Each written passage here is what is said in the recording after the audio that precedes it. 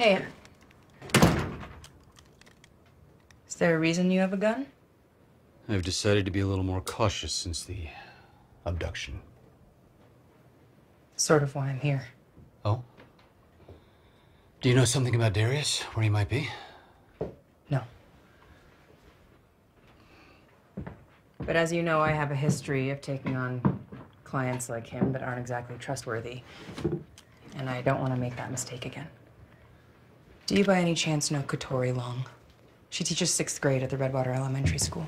I've known Catori for quite some time. What kind of person is she? I went to school with her brother, who is in prison now. Her parents were not model citizens. Perfect. But Catori managed to get out. She went to college. She could have gotten a job anywhere, but she came back to the res and dedicated her life to teaching our children. I can think of no greater character endorsement than that. Wow. I think that covers it. Thank you, Henry. Do you mind if I ask what this is about? Yeah, um. Catori's trying to get temporary custody of a child to help him get medical attention and save his life.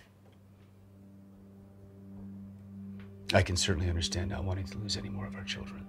Exactly. Which is why I'm trying to get this case in front of the tribal courts as soon as possible. Tomorrow, hopefully. Cady, I do not think you understand how the tribal courts work. You will be lucky to get in front of them in a month. But a child's life is at stake. And you are white. If you want a judge to hear this case quickly, you are going to need the help of the tribal council. Okay. How do I do that? Well, you do know somebody on the council who could help you. I do.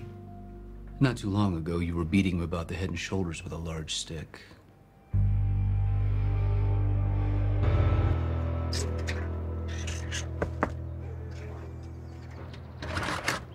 Ah, Cady, what are you doing here? If we're gonna get a custody hearing, we need to make an appeal in front of the tribal council this afternoon.